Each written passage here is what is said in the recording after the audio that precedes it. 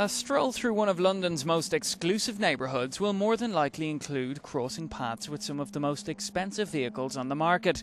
But the owners of these roaring supercars may be forced to pay fines or potentially face prosecution for being a nuisance to local residents. The real problem for us is at night when they race up and down Sloane Street, amongst other places, at revving their cars and at high speed and making really horrific noise. I mean, it's quite impossible to sleep. Kensington and Chelsea Borough have begun a consultation process on whether they should prohibit the revving of engines in the area. I absolutely agree with that decision because uh, this is how it should be, you know. At least we can stop these people from doing all of that because that's ruined people's image, you know. People come to drive because we enjoy, we love cars, to drive around, people taking pictures. So it's something nice, you know.